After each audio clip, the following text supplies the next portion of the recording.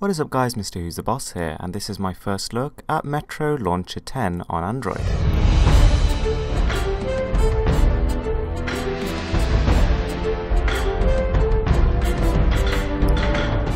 So of the few Windows 10 style launchers that are currently available on Android, this is by far the best.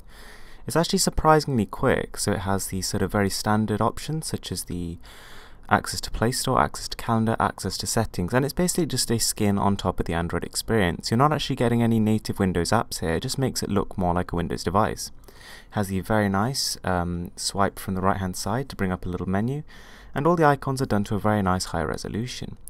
You can see that there's plenty of settings for the home screen with more to be added in future updates.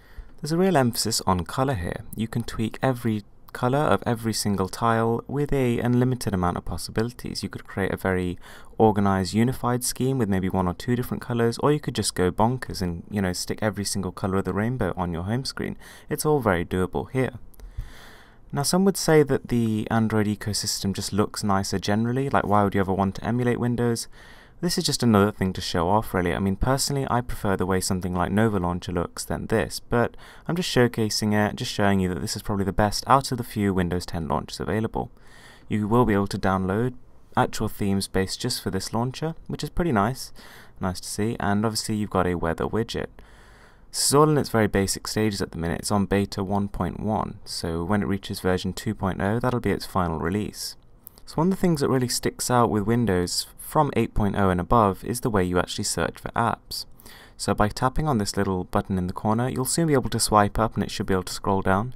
But uh, at the minute you tap that corner, you'll be taken into a pretty ugly app drawer. I mean, this really doesn't compare to something like Android 5.0 Lollipop with its clean, minimalistic style look.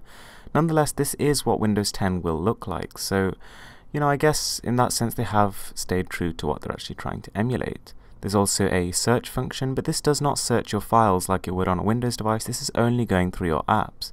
Again, that will actually be added in a future update, but at the minute it's still just got the very basics. So another thing which is nice to see here is the ability to actually pin whatever apps you want onto your home screen. So you simply search for them, you hold them down, and they will be there and you can see that at the minute it's just shoved onto the right hand side. It kind of looks a little bit out of place, but you can stick it wherever you want. And I was actually quite impressed by the way you can enlarge and make smaller the icons. However, it would be nice if there was actually a way to give those icons a Windows kind of theme, because you can tell that this Adobe Reader over here looks a little bit wrong and a little bit out of place, but again, it's still nice to see, and they've done a lot to actually help you integrate those icons. So also we have a nice little clock when you actually pull from the side. You can see that we've got the time, the battery and the date.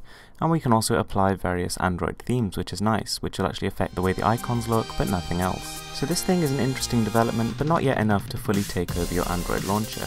Thanks for watching guys.